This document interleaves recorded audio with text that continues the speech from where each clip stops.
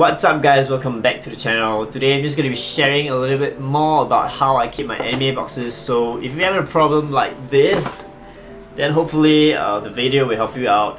And this isn't actually a super complex or like a super secret method. It's actually really simple and most of you probably would have guessed it by now. You simply flatten the boxes and as you can see, there is probably like 10 to 20 figurines over here and everything is displayed in my IKEA shelf. And what I do with these boxes I simply flatten them by cutting out all the tapes that are on the top and the bottom side. So it's actually super simple and it saves you a huge ton of space. So imagine all the boxes that I have here. All these they can be flattened and they can be kept super easily. It's just as simple as that really. Since most of you guys would have already opened up the figures. All you gotta do is just take out the additional cardboard pieces inside here and then at the same time simply just do the same thing at the bottom side. You cut up the scotch tape. This will leave the boxes intact and also I believe as min as possible even though in the future if you do still want to tape them back you can do it. There you go. It's as simple as that. From this space into this and then you just repeat with all these different boxes all these different Banpresto figurines that you have. And tada you'll probably have this. So from the previous few boxes I've cut them and flattened them up all up. And it's look at this amount of space that you save. The only problem that you might have is with the additional cardboard pieces and the accessories that might be inside. So what I kind of do is basically just sacrifice most of them and then keep one box which is intact. So all of these flattened boxes that have accessories inside them, I put entire collection into a single box. So this is the only one box that I keep with all the additional heads and you know stands that are being kept inside.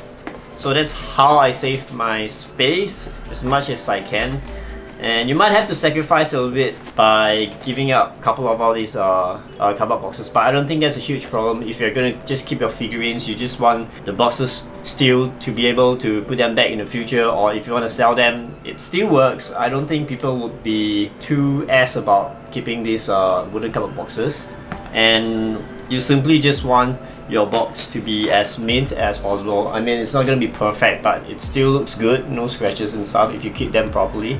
So I think that works uh, the best in terms of space and also efficiency. So everything is being kept in one box and if you ever need the stands, you can just open it up and look for them. It's going to be super simple, super quick. So yeah, that's actually how I keep most of my Banpresto figurines. But if you do have other figurines that are huge in, in terms of like box, then it might be a little bit different. So in terms of uh, boxes like the Grandista or the Figuarts, you might have to decide whether you still want the plastic that helps keep the figurine inside the box. So these are the only bigger problems that I have. I will have to decide whether I want to keep the box itself with the plastic or without or just flatten it. So that's something that perhaps maybe if you have any idea how you do it, please feel free to share down in the comments. I would love to know how you guys keep your big boxes as well. And for Grandista, no problem as well. You can simply uh, take the figure out and also flatten it the same way. Although the boxes for Grandista are much thicker, so they probably occupy a bit more space.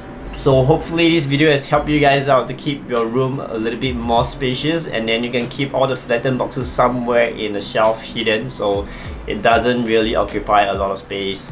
And you can still put your figurines back in the boxes if and whenever you want it to. So yep thank you guys for watching the video. If you like the content please feel free to subscribe to the channel and give this video a thumbs up. I would super duper appreciate it well, thank you guys for watching. I will see you guys in the next video.